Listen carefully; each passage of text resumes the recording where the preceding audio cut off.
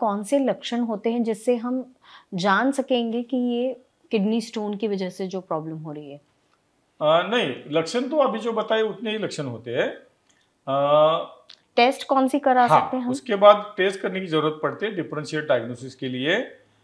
Test में sonography एक महत्वपूर्ण टेस्ट है क्यूबी मतलब किडनी यूरेटर और ब्लैडर की सोनोग्राफी करने की ज़रूरत पड़ती है। सोनोग्राफी में जो रेडियो ओपेक होगा तो दिखा जाएगा। और रेडियो लूसेंट अगर वो कुछ बार स्टोन नहीं दिखेगा, उसको रेडियो लूसेंट स्टोन बोलते हैं, यूरेट के स्टोन स्पेशली।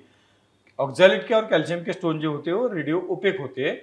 आपको सोनोग्राफी में दिखेंगे या एक्सरे में दिखेंगे। एक्सरे के यू भी करेंगे तो भी पता चलेगा। यूरिन रूटीन करना चाहिए।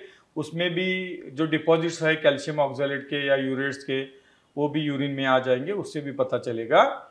और उसके, उससे आप पेशेंट का पिक्चर जो है सिम्टम पिक्चर रिलेट करेंगे तो आपको पता चलेगा कि ये पर्टिकुलर पेशेंट में रीनल स्टोन की बीमारी है।